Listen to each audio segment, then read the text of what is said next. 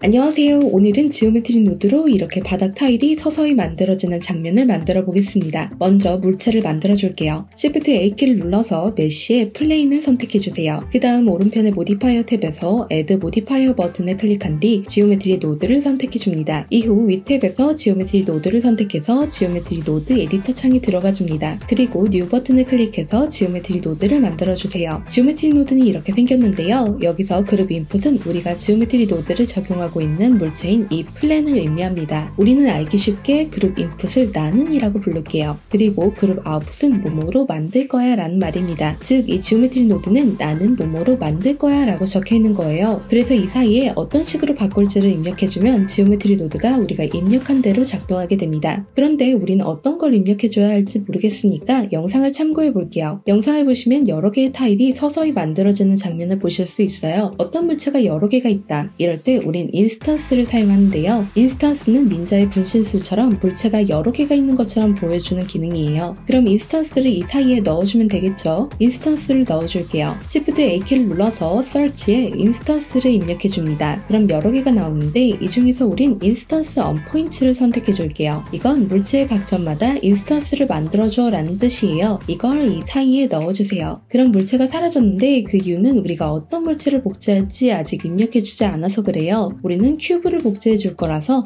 Cube를 가져와 줄게요. Shift A키를 눌러서 Search에 Cube를 입력해서 선택해 줍니다. 그리고 이 큐브를 인스턴스 언포인트의 인스턴스와 연결해 주세요. 여기 Instance는 어떤 걸 복제할지 입력해 주는 거예요. Cube를 여기 Instance에 연결해 주면 물체의 각 점마다 복제품인 Instance가 생겨나게 됩니다. 근데 우린 예시처럼 Cube가 좀 더 많았으면 좋겠어요. 이때는 물체의 면을 나눠주면 됩니다. 물체의 면을 나눠주면 그 나눠진 면에 따라 새로운 점들이 만들어지게 되고 그 점들에 Instance들이 생기게 됩니다. 그럼 물체의 면을 나눠줄게요. 이때는 Subdivide Mesh를 사용하면 됩니다. 이걸 사용해 볼게요. Shift A키를 눌러서 Search에 Subdivide Mesh를 입력해서 선택해줍니다. 그리고 이걸 이 사이에 넣어주세요. 그 다음 Subdivide Mesh의 레벨을 3으로 설정해주세요. 근데 Cube의 크기가 너무 큰 것 같아서 크기를 조절해줄게요. 이때는 여기 Instance on Points의 Scale 값을 조절해주면 됩니다. 저는 X와 Y를 0.25, Z는 0.05로 설정해 주겠습니다. 크기가 줄어들었으면 이제 타일들의 위치를 예시처럼 바꿔줄게요. 물체의 위치를 바꿔주려면 Set Position이라는 노드를 사용하면 됩니다. Set Position은 물체의 위치를 설정해주는 역할을 하는데요. 이걸 사용해줄게요. Shift A키를 눌러서 Search에 Set Position을 입력해서 선택해줍니다. 그리고 이걸 여기에 넣어주세요. 그럼 이 Geometry Node는 나는 물체의 면을 나눠줄 거야. 그리고 물체의 각 점마다 Cube로 Instance를 만들어줄 거야. 이후 물체의 위치를 설정해줄 거야 라는 말이 됩니다. 이제 물체가 자체가 서서히 나타나게끔 만들어주려면 Geometry Proximity라는 노드를 사용하면 됩니다. Geometry Proximity는 특정 물체가 얼마나 가까이 있는지를 계산해주는 아이입니다. 그래서 이 계산을 바탕으로 이렇게 물체가 가까이 다가오면 크기를 커지게 해주거나 작게 만들어줄 수 있어요. 이걸 사용해 볼게요. Shift A키를 눌러서 Search에 Geometry Proximity라고 입력해서 선택해줍니다. 그리고 이 지오메트리 프록시미티의 디스턴스를 스텝 포지션의 옵셋과 연결해줍니다. 여기에 Distance는 다가가는 물체에서 목표가 되는 물체까지의 가장 가까운 상대적인 거리를 말하는 거고 Set Position의 Offset은 위치 간격을 조절해주는 값을 말하는 거예요. 다가갈 물체를 만들어줄게요. 이 창에서 Shift A키를 눌러서 메쉬의 UV 스피어를 선택해줍니다. Sphere를 선택한 상태에서 Object 탭에 들어가 Viewport Display의 Display As를 Bounds로 선택한 뒤 Bounds를 Sphere로 바꿔줍니다. 그럼 모양이 이렇게 바뀌게 되는데요. 이제 이 Sphere를 이 창에서 마우스로 드래그해서 Geometry Node로 가져와 줍니다. 그럼 Object Info라는 노드가 생기는데 이건 우리가 만든 Sphere의 정보예요. 이 Object Info를 Geometry Proximity의 Geometry와 연결해 줍니다. 이제 이걸 움직여 보면 아무런 반응이 없죠. 그 이유는 Object Info의 모드가 Original로 설정되어 있기 때문이에요. 여기에 Original은 원래 위치를 기준으로 삼겠다라는 뜻이에요. 그리고 Relative는 현재 위치를 기준으로 삼겠다, 즉 현재 위치에 따라 변하겠다라는 뜻이에요. 우리는 물체가 움직이는 대로 위치를 바꿔줄 거니까 이걸 Relative로 바꿔주세요. 이제 Sphere 타일을 움직여 보시면 그에 따라 물체의 위치가 바뀌게 됩니다. 근데 이 타일들이 X, Y, Z축 모두 움직이고 있죠. 우리는 예시처럼 Z축으로만 물체가 움직이길 원해요. 이때는 Combine XYZ란 노드를 사용하면 됩니다. Combine XYZ는 X, Y, Z의 3개의 값을 합쳐서 하나의 벡터 값을 만들어주는 역할을 해요. 이걸 사용해 볼게요. Shift A키를 눌러서 Search에 Combine XYZ를 입력해서 선택해 줍니다. 그리고 이걸 이 사이에 넣어주세요. 지금은 X축과 연결 연결되어 있는데 이걸 Z축으로 바꿔주세요. 그 다음 sphere를 움직여주면 이제 물체가 Z축을 향해서만 움직이게 됩니다. 근데 타일이 너무 휘어져 있으니까 얘를 예시처럼 일정하게 하나씩 움직일 수 있게끔 만들어줄게요. 이때는 Math 노드를 사용하면 되는데요. Math 노드는 말 그대로 계산을 해주는 역할을 합니다. 이 Math 노드 안에는 다양한 모드가 있는데요. 이 중에서 우리는 arc 코사인이라는 것을 사용해 볼게요. 이건 역삼각 함수라는 건데요. 이건 이런 식으로 되어 있어요. 쉽게 말하자면 arc 코사인